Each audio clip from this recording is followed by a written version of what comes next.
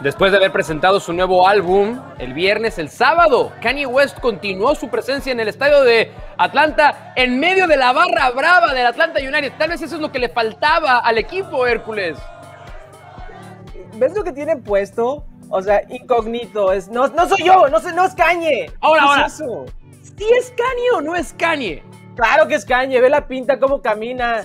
Sí, Eh, es verdad. O sea, y estuvo ahí en medio de la afición. ¿Será el primer partido de fútbol soccer que estuvo en su vida para Kanye? no. ¿No? Gran ¿Era un gran aficionado, gran aficionado de los Rapids de Colorado. Equipo de William. A mí se me hace que es fanático del América, Kanye West.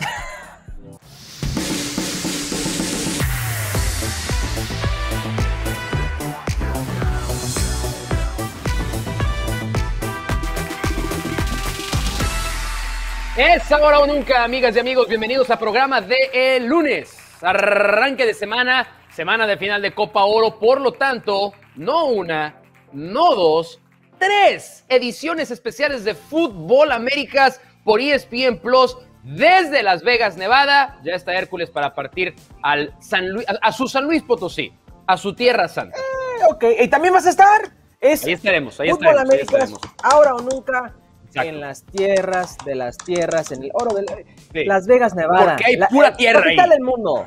Hay pura tierra en Las Vegas. No se, no se crean. Viene Mr. Chip Bueno, sí. más adelante con datos, como siempre, muy atractivos y lo que nadie les ha presentado de Juegos Olímpicos. El, el contrarresumen, el antiresumen de los Juegos Olímpicos aquí en Ahora o Nunca, pero hablábamos de Kanye West, Hércules, al arrancar el programa, si es que hablemos a uno de sus grandes, grandes fanáticos en el Sí, sí, mundo de sí. la televisión deportiva, el señor No David sabe, Faitelson, no, hoy no, con no, nosotros en Ahora Nunca. yo, Bienvenido, yo sí quiero saber, espérate, yo sí quiero saber, David, ¿sí ubicas a Kanye West? No era el, no, no, no es el siguiente rival del Canelo, no. Ah, no, ese es Caleb Plant.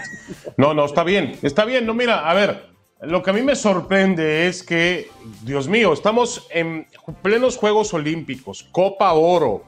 ¿Qué más hay? Este Torneo mexicano, empezó el arrancó torneo la Liga MX. mexicano, está la MLB y, y ustedes abren con, con, con quién, perdón, ¿Con, ¿cómo se llama? Con uno de los personajes West. más famosos de- del planeta, sí, Kanye West. ¿Por qué no hacen una solicitud de trabajo? Yo creo que ESPN no tendría ningún problema en que ustedes fueran a las oficinas. No, ¿cuál MTV? T- TMS, TMZ, ¿no? Ah, TMC, TMC. sí, ahí quedarían perfectos ustedes, hombre. ¿Qué dijo el productor? Es el sueño hecho Ahora, realidad. No, antes de no, pasar al tema los rápido, récords de rating ahí.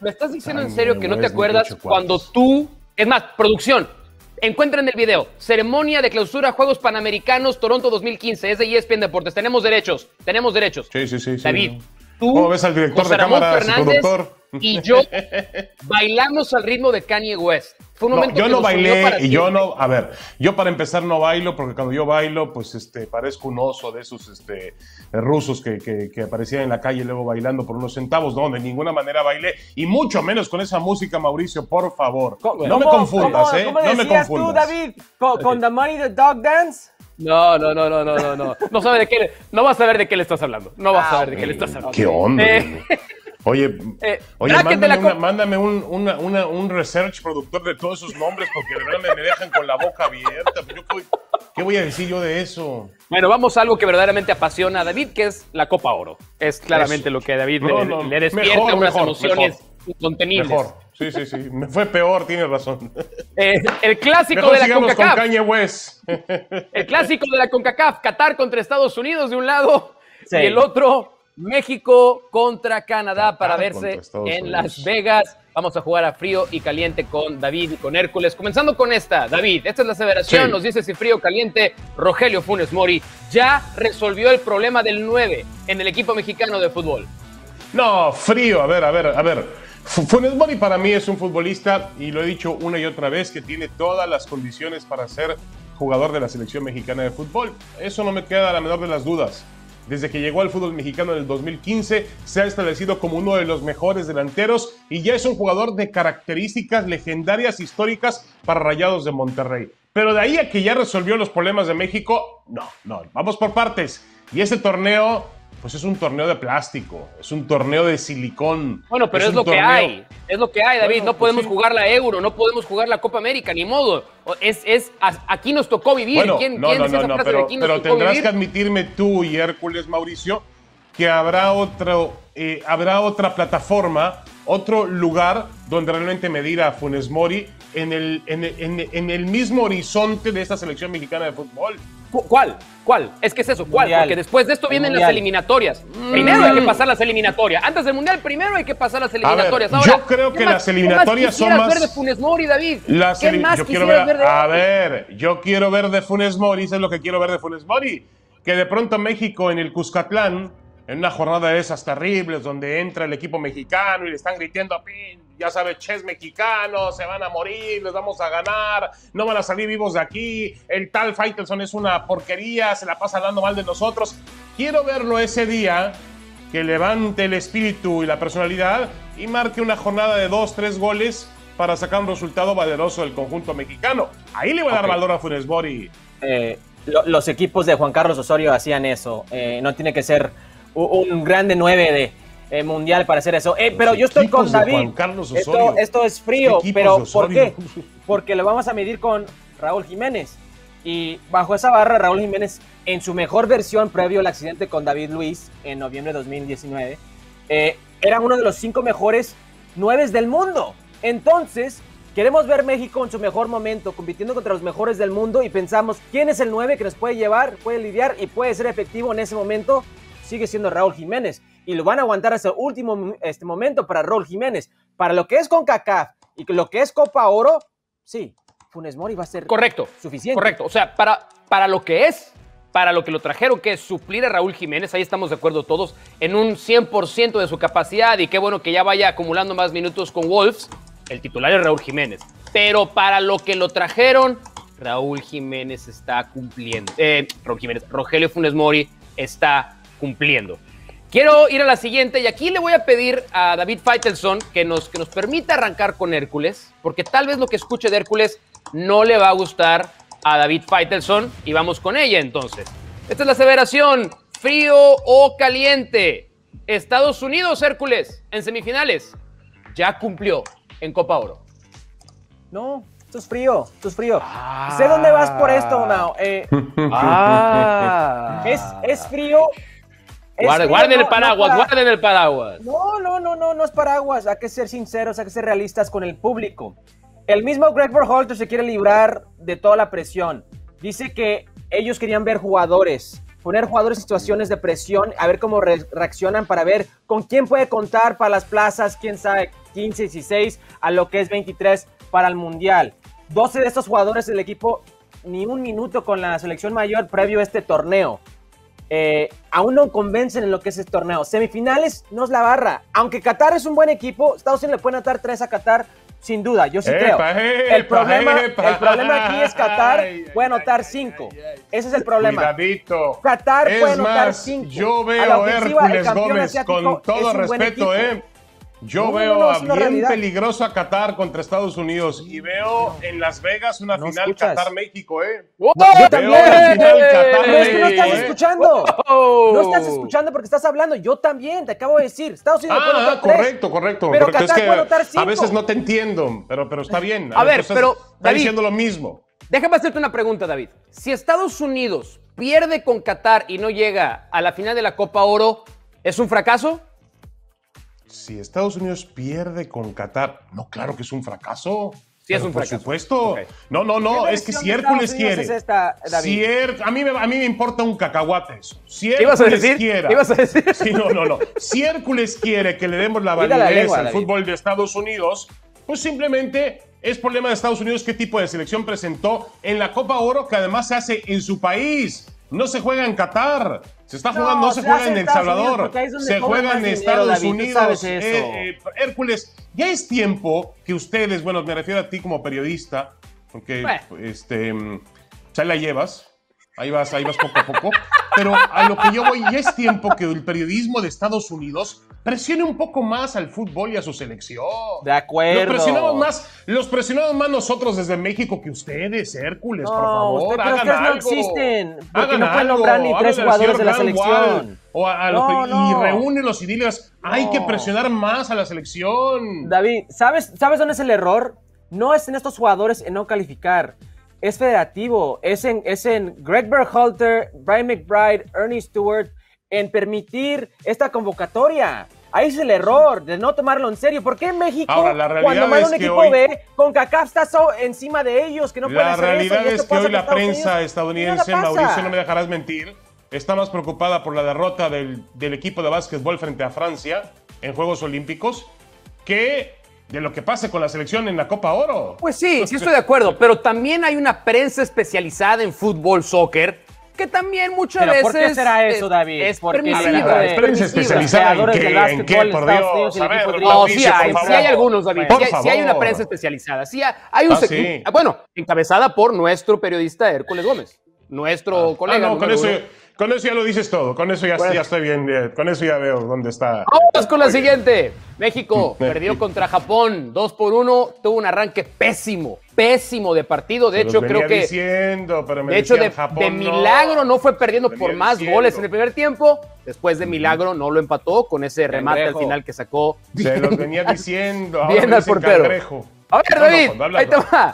Frío o caliente, esta selección olímpica sigue aspirando a una medalla pues sigue aspirando a competir, pero es que no podemos ir del, cielo a la, tierra o del infierno a la gloria después de, una selección que le ganó muy bien, jugando bien al fútbol a Francia, y una selección que mostró otra vez sus eh, más temibles defectos contra Japón.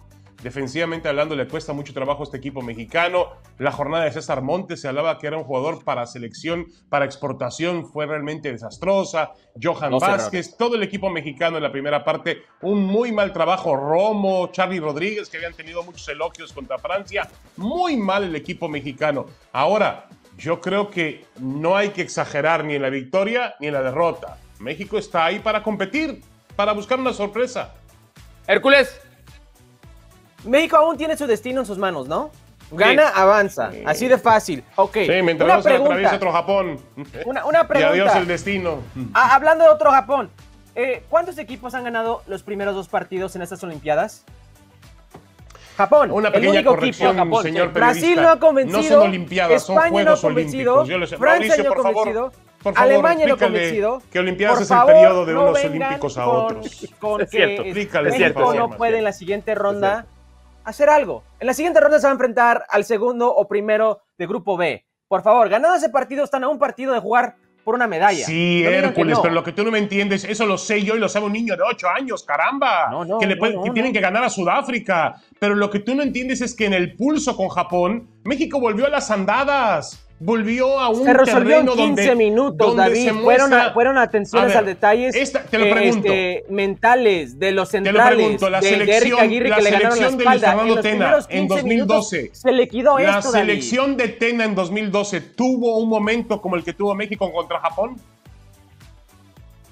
Tuvo un mal partido contra Corea del Sur, ¿te acuerdas? Tuvo un mal partido contra Corea del Sur. Pero muy mal. comparando a un equipo que ganó Pero el resultado le favoreció, Mauricio. Sí, al final del día sí. Pero, pero el trámite del partido fue muy malo. pero la, pregunta no, la pregunta no es el color de la medalla, es de podio. Bueno, pero, pero de todo, a ver, yo estoy de acuerdo con Hércules que al controlar tu destino, tus opciones, y sobre todo porque hay que preguntarle a Jimmy Lozano qué equipo es el que vamos a ver. ¿Vamos a ver el equipo contra Francia o vamos a ver el equipo contra Japón. Ese es el tema. ¿Cuál es la realidad? ¿Cuál es, la realidad del equipo mexicano? Tener, al flaco Tena en el banquillo que Jimmy Lozano. Ah, está bien, pero, no, les parece, pero no les parece una historia, no les parece una historia muy recurrente del fútbol mexicano. Eh, ¿Qué equipo vamos a ver? La bipolaridad. el equipo sublime, eh, es decir, el equipo que empezó contra Alemania, el Mundial del 2018. y después el equipo que terminó contra Brasil de acuerdo. Ese ha sido, es, una, es, una, es una regularidad. Eso es lo que pasa en el fútbol mexicano. Lo regular es lo irregular del equipo nacional. Antes de irnos a la pausa, queremos conocer tu opinión, David, en fair play o no fair play del tema de Paola Espinosa. Su tweet, que a mí la verdad me pareció, eh, la única palabra que encuentro es corriente, innecesario, fuera de lugar. Después ella tratando de retractarse un poco, pero todos sabíamos que esto podía pasar por cómo ella misma despertó la, polémica de haber ganado la plaza para México, pero no haber sido seleccionada para competir por no haber cumplido con los parámetros. Tú la conoces muy bien, la has cubierto en muchos Juegos Olímpicos, la has entrevistado muchas veces. ¿Cómo te sentiste? ¿Qué, te despertó el ver ese tweet de Paola Espinosa? Lo primero que se me ocurrió es defenderla y me equivoqué, obviamente. Eh, pero bueno, a veces uno actúa por instinto. Mi instinto es defender a Paola porque Paola fue una atleta legendaria para México.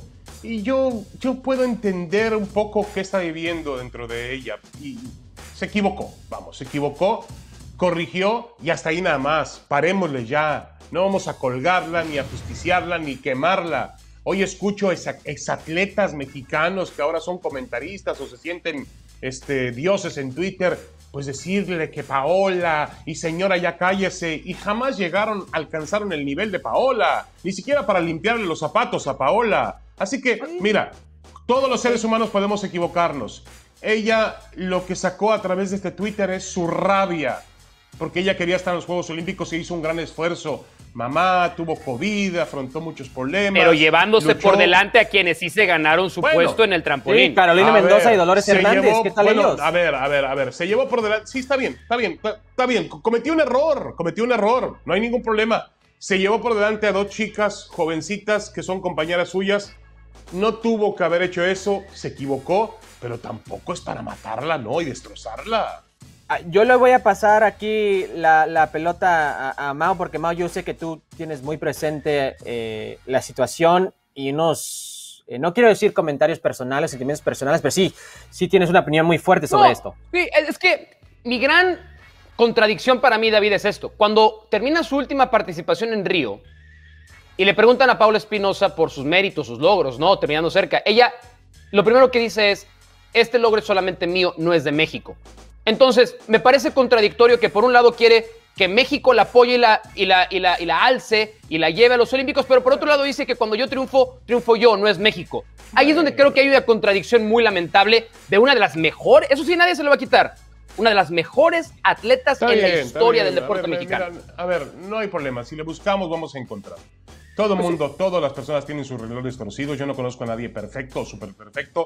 Todo el mundo tiene ciertas em, condiciones en la vida donde se ha equivocado. Y Paola se equivocó. Y sí, es cierto. Esto no va a pasar absolutamente nada. Aún así sigo pensando que fue una injusticia lo que le hizo la Federación mm. Mexicana de Natación. Pero bueno, ella apoyó también una injusticia hace cuatro años cuando le quitaron el lugar a Robert Pacheco para llevar al esposo de Paola Espinosa. También. Bueno, pero ¿qué tiene que ver el esposo de Paola Espinosa? Porque, ella fue, porque él fue ah, beneficiado. Ah, ahora él fue beneficiado ella, de esa Ella presionó para llevar a su esposo. No, sí, Mauricio, sí por no levantó la mano, ¿verdad? bueno, no, por favor. Este, por favor. Corren una canción de Kanye West. Johnny Russell es el protagonista de nuestro gol de la semana, gracias a nuestros amigos de Audi con este golazo un duelo importantísimo en el oeste, uno contra dos. Sporting Kansas City fue y le ganó a Sounders Hércules apenas su segunda derrota de la temporada. Sí, ya van dos semanas, dos tiros libres importantes de Johnny Russell que le dan puntos al equipo de Kansas City, ¿eh? Dos semanas, dos seguidos.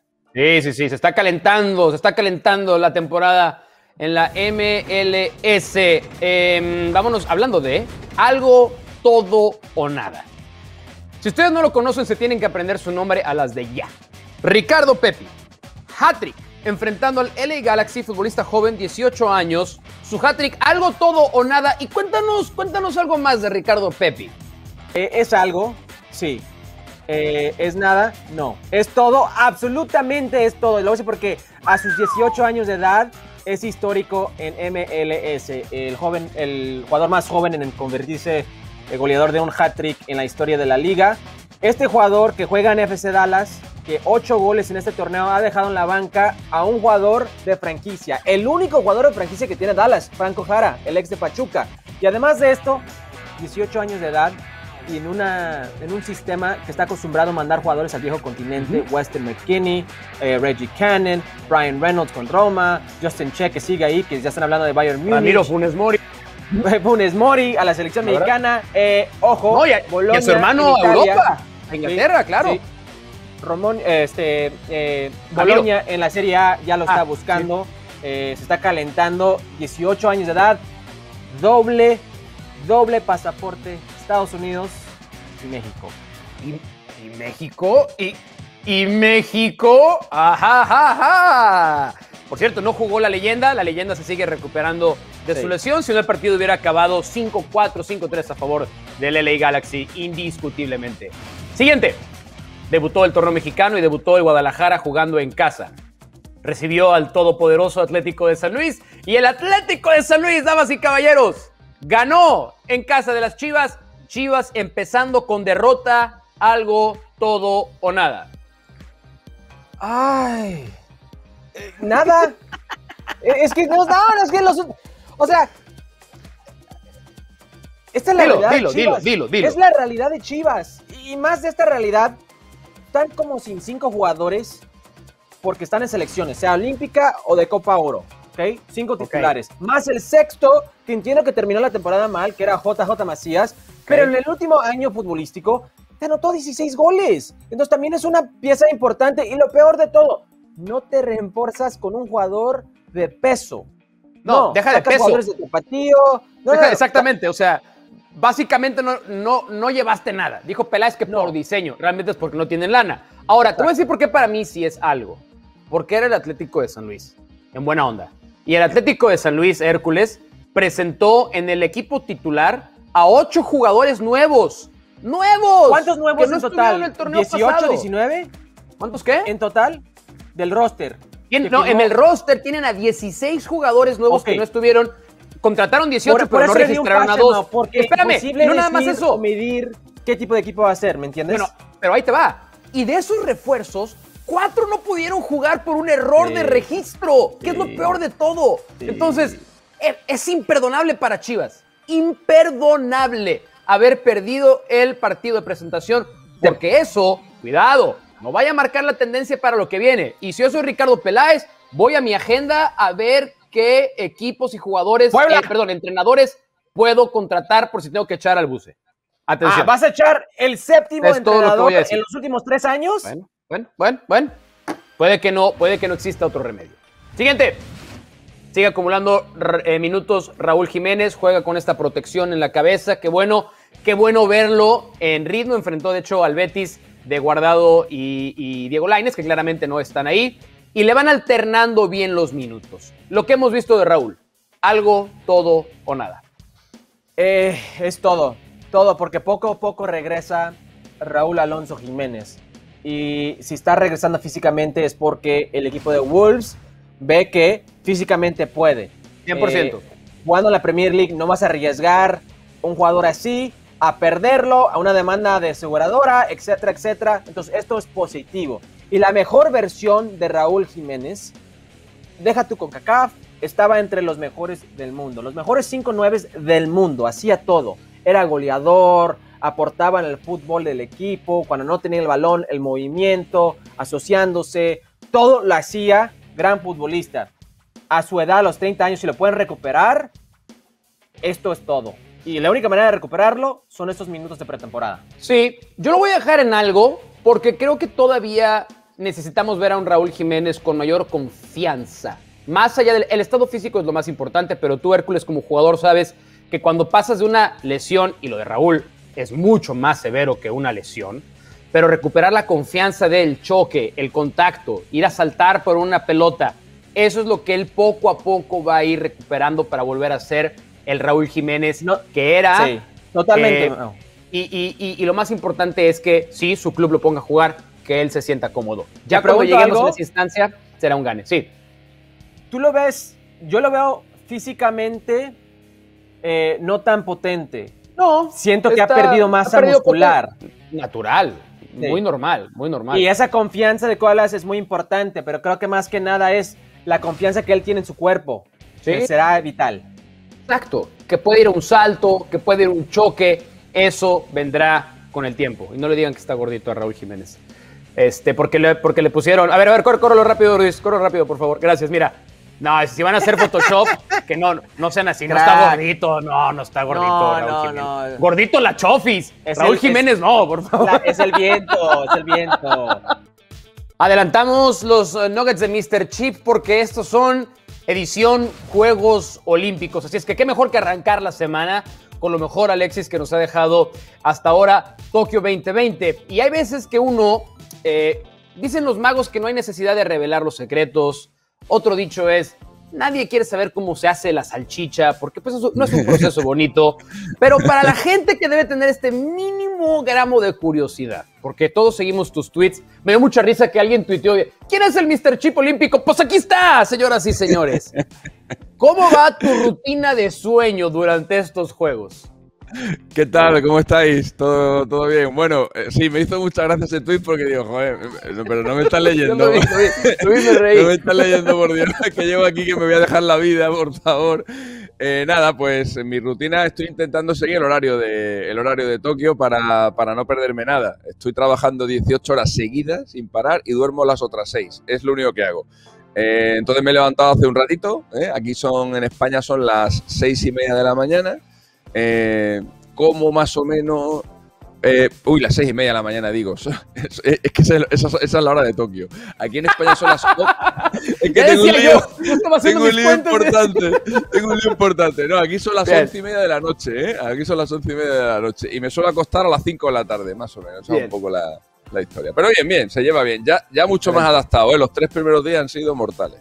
Bueno, se, te ve 100 puntos. A quien no se le ve 100 puntos es al equipo de básquetbol de los Estados Unidos, que arrancó perdiendo contra Francia, que creo que en este punto ya no nos debería de sorprender. Pero al final, por, por cómo está este equipo, ¿no? En particular. Pero al final del día, Alexis, cada vez que pierde Estados Unidos en básquetbol, sí nos debe llamar la atención. Y sé que eh, tú tienes un par de datos que nos van a ayudar a poner en contexto el significado de arrancar perdiendo este primer juego en eh, el básquetbol olímpico para varones. Sí, hombre, no debe sorprender porque viendo los encuentros de, preparación y la racha reciente, sobre todo en el último mundial de Estados Unidos, pues eh, ya les ves que no son inaccesibles totalmente, pero siempre, siempre tiene que sorprender que pierda una, una, selección que, bueno, que en este caso no perdía desde el año 2004. Llevaban en Juegos Olímpicos invicta 17 años, había ganado 25 partidos seguidos, era la segunda mejor racha de la historia. La primera también es de la propia selección de Estados Unidos, que ganó 63 partidos seguidos entre los Juegos de Berlín en el 36 y el año 72, hasta aquella famosa canasta de Belov, que les hizo perder por primera vez eh, la medalla de oro en, en baloncesto. Pero, pero sí, si miras, la, si miras la racha reciente de los Estados Unidos, la verdad, eh, ahí verás que eh, tiene más derrotas que victorias. O sea, eh, parece más la racha de Angola que de Estados Unidos. de los últimos ocho partidos ha ganado solamente tres. perdió contra Francia y contra Serbia en el Mundial, en el pasado Mundial de China y el partido por el quinto puesto se lo ganó a, se lo ganó a Polonia. Eh, ahí dos de tres. Luego eh, estuvo descansando un par de añitos y ahora volvieron para prepararse para estos Juegos Olímpicos con dos partidos de preparación contra Nigeria y contra Australia. Contra Nigeria y contra Australia. Eh, los dos los perdieron en casa. Luego le ganaron, parece que ahí les picó un poquito el orgullo. Luego le ganaron otros dos partidos de preparación a Argentina, muy bien, le ganaron 108-80. Y el partido de España, aunque el marcador 83-76 parece que tal lo, resolvieron en el último cuarto. el partido estuvo muy equilibrado y ahora han vuelto a perder otra vez contra Francia, que por cierto les eliminó del último mundial y les vuelve a meter en un, en un aprieto. O sea que de los últimos ocho han perdido, han perdido cinco y estamos hablando ya de una selección que por lo menos es terrenal. Para mí siguen siendo favoritos, ¿eh? para mí siguen siendo favoritos, obviamente, pero ya es, pero ya es terrenal. ¿eh? Eh, eso sí, si miramos los precedentes de, de selecciones de baloncesto masculino que empezaron perdiendo y que al final alcanzaron por lo menos una medalla, solamente hay seis casos. El primero fue Brasil en el año 64, precisamente en los Juegos de Tokio, que alcanzó el bronce. El único caso de oro es el de la Unión Soviética en Seúl. Empezaron perdiendo y acabaron ganando la medalla dorada. Y luego los últimos cuatro casos son todos de bronce. Eh, Lituania en el año 2000 en Sydney, la propia selección de Estados Unidos que empezó aplastada por Puerto Rico en los Juegos de Atenas eh, y que luego eh, alcanzó el bronce, fue eliminada por Argentina, esa precisamente fue su última derrota en Juegos, y luego las dos últimas, Argentina en los Juegos de Pekín, que alcanzó el bronce, y la propia España, que en los Juegos de Río empezó perdiendo contra Rusia y terminó también ganándole el bronce a, Australia. No son muchos precedentes y como digo, solo uno de, solo uno de oro, así que vamos a ver. Vamos a ver si Estados Unidos se puede convertir en la segunda o no. Sí, ya decías que es muy difícil. Una medalla de oro para aquel equipo que haya comenzado perdiendo. Otra de las grandes notas que nos ha dejado el arranque del básquetbol de varones es Luka Doncic. 48 puntos, 11 rebotes, 5 asistencias contra Argentina. Victoria para Eslovenia. Ya había sido una hazaña para él llevar a Eslovenia a estos Juegos Olímpicos y ahora ha debutado con una gran actuación, cerca de un récord histórico. Y pudo haber llegado porque descansó los últimos minutos natural después de todo el trajín que viene acumulando también en la temporada de NBA. ¿Qué te dejó la actuación del exjugador del Real Madrid?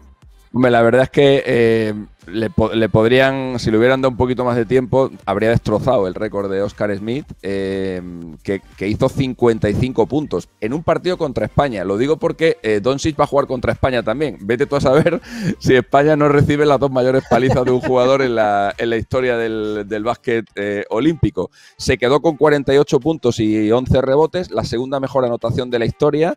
Eh, la primera es la de Oscar Smith en Seúl con 55 y luego tanto Doncic como Palubinskas, Edu Palubinskas, un jugador australiano de los años 70 que en Montreal, precisamente a México, le hizo también 48 eh, puntos. Y si miramos eh, grandes actuaciones de puntos y rebotes, más de 40 puntos y más de 10 rebotes, solo hay dos en la historia de los Juegos.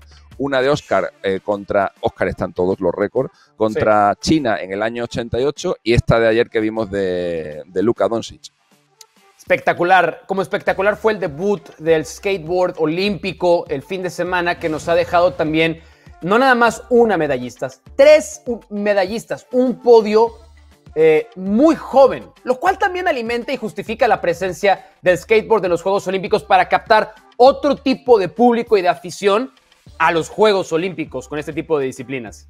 Sí, la verdad que cuando ves a atletas ya maduros y tal ganar una medalla y llorar desesperadamente, desconsoladamente después de un trabajo y ves a estos chicos bailar ¿eh? cuando ganan un oro y quedarse ahí como diciendo, bueno, tengo 13 años y ya gana un oro olímpico, pues lo, típico, lo, lo, típico, lo normal. Bueno, pues en este, en, este, en este evento se consiguió la tercera medalla de oro más joven de la historia. El récord lo tiene Marjorie Gestring, una, una atleta de Estados Unidos de clavados eh, que en el año 36 ganó el oro con 13 años y 268 días. Con 13 años y 283 días, Klaus Zerta, eh, del equipo unificado alemán en el año 60, en Roma, en Remo, consiguió la segunda medalla de oro más joven de la historia. Eh, la de ayer fue la tercera y la cuarta es de Fu Mingxia, otra fantástica clavadista china eh, que también con menos de 14 años, en el año 92 en Barcelona, logró también el oro. Lo que, es, lo que no tiene precedentes es el, es el podio, eh, el podio de esta prueba de skateboard. Eh, la primera 13 años, la segunda 13 años, la tercera 16 años, entre Nishilla, Leal y Nakayama, estamos hablando de un podio que promedia 14 años y 190 días. Eh, el podio, obviamente, más joven en la historia de los Juegos Olímpicos. Te tienes que ir a un casi a una, a una escuela de, de, párvulos para encontrarte, encontrarte allí a gente para batir este récord. Yo recuerdo lo que hacía a los 13 años y era posiblemente sí estar en una patineta, pero con la cabeza en el pavimento, no, no en el podio. Alexis, eh, mucho café, mucho ánimo y gracias por estar con nosotros.